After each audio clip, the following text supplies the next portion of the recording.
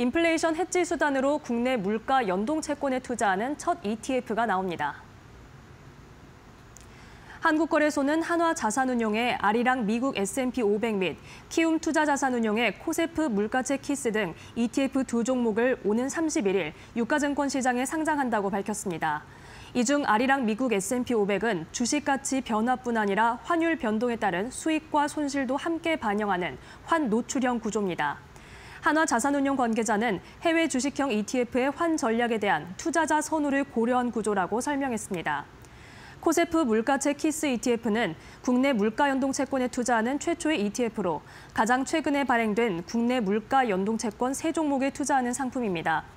키움 투자자산 운용 관계자는 채권의 직접 매매가 어려운 개인 투자자에게 효과적인 장기 인플레이션 헤지 수단 및 연금 투자 상품을 목표로 하고 있다고 소개했습니다.